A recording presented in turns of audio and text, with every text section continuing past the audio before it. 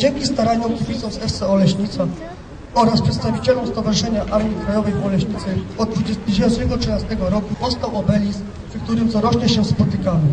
Cieszy widok wszystkich tutaj nas obecnych, corocznej coraz większej grupy ludzi, a przede wszystkim młodzieży, która zawsze licznie do nas przybywa. Wiedziałem, że nikt Twoich ran Ci nie odwdzięczy, bo niczym krew, co płynie, przy złocie, co brzęczy. I nigdy nikt nie liczył leżących w mogile, czym jest duch anielski przy szatańskiej sile. Jak żal mi, że Ci oczy nareszcie otwarto. I powiedz sam mi teraz, czy to było warto?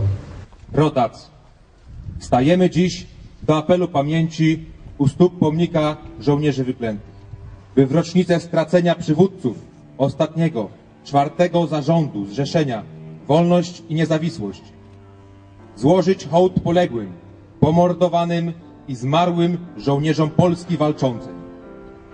Pochylamy głowy w skupieniu i zadumie, przywołując pamięć wszystkich, którzy ofiarą swego życia poświadczyli, że jeszcze Polska nie zginęła, dla których ojczyzna pozostała do ostatniej chwili życia dobrem najwyższym.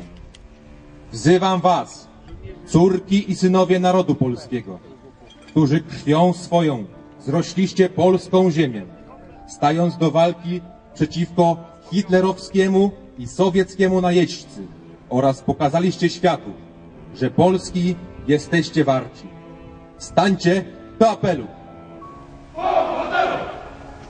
Do Was wołam żołnierze Armii Krajowej, Narodowych Sił Zbrojnych, batalionów chłopskich, harcerze szarych szeregów i chówców polskich oraz innych organizacji polskiego podziemia niepodległościowego, którzy nie ugięliście się pod hitlerowskim oraz sowieckim jarzmem i zginęliście z honorem w walce przeciwko zniewoleniu ojczyzny.